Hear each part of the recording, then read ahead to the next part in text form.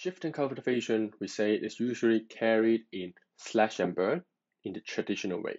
So slash is chopping down tree with an axe or with whatever um, tool. Burn is to burn the tree down, basically. Set fire off, which is more efficient and time saving, effort saving as well, because you just clear a certain boundary of trees and just let, let it burn. So faster and also after the trees are burned, the ash becomes the soil nutrient through the nutrient cycle, which we, we won't cover it now. So the nutrients from the ashes of trees will eventually get absorbed by the soil, which becomes a nutrient. Yeah.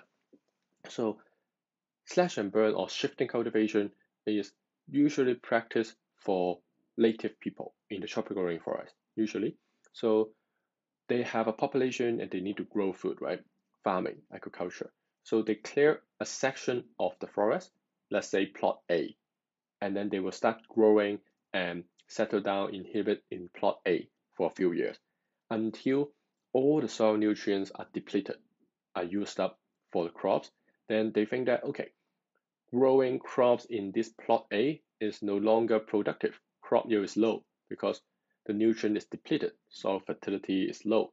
So they move on to plot B another section of the rainforest and they carry out slash and burn again. And then they settle there for another few years. That's why we call it shifting cultivation. They move from plot A to plot B, part of the forest to another part of it, so that they take advantage of the soil nutrient in plot B. And then they settle it for a few years, soil fertility decreases, then they go through the process again.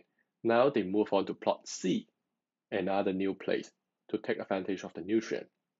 And then eventually, maybe because of the tribe, maybe because of the boundary, whatever, so they will, after several years in plot C, they will return to plot A.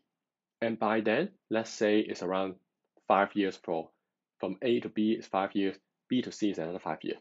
So it's 10 years later from plot C, they return to plot A. 10 years later, we say that usually the soil nutrient would have recovered like the soil is now fertile again. So they start growing again, slash and burn again. So the whole process repeats. They just migrate from A to B to C and then C back to A. Keep going it for years.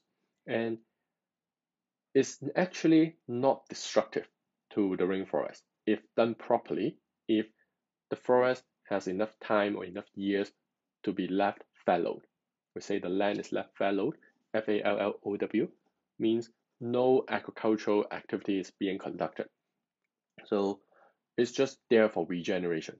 Then naturally the forest can recover after 10 years, right? But the problem is rising population in these native tribes. We say because for various reasons they're giving birth to more people. Maybe in Indonesia, people are migrating there because of transmigration there are more people in the forest doing the same shifting cultivation. And because of a larger population, they need to grow more crops.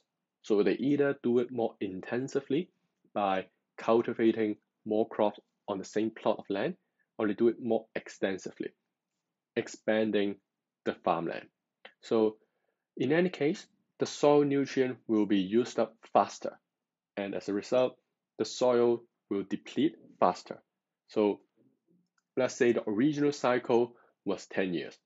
A to B, 5 years, B to C, 5 years. But now the soil deplete in 3 years. After 3 years, because they grow crops intensively, all the nutrients are gone. So they move from A to B only 3 years. So the whole cycle completes with 6 years versus 10 years.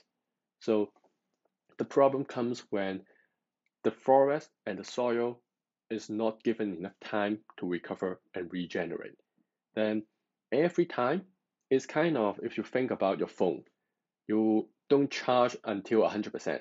You only charge to 60%, then you start using it again. Then your phone battery will drain faster or the use time is shorter because you only have 60% to start with. Then after 60%, you have to charge it again. And then you are so impatient. Let's say, oh, I need to play games. I can't wait for it to charge. Then you unplug it again. So now 30% you start playing again. Then you only have 30% to play. Then it drains so fast, then you have to charge it again. So the same mechanism happens with the soil nutrient, kind of like a battery, right? So when the population gets bigger, eventually the rainforest cannot regenerate itself because the cycle is shortened. So it becomes very destructive to the rainforest.